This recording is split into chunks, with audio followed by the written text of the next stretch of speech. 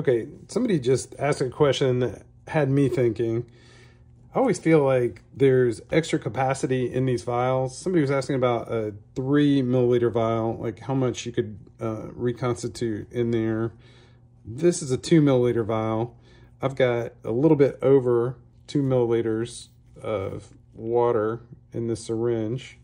And I just want to see like how much headspace there is when you put the full amount in there, if any.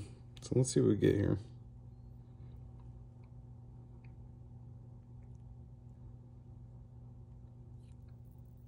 Okay.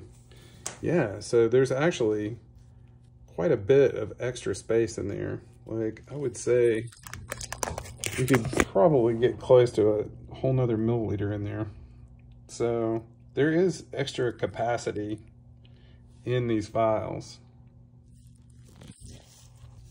Okay, I had to follow this to the end. So there's the two milliliter one we just filled up. I found a three milliliter and now I've got a little over three milliliters of water in there.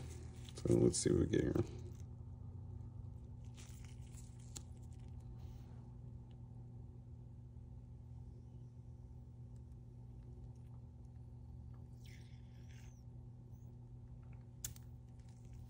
I put it in there really fast, but yeah, there's actually plenty of space. It looks like they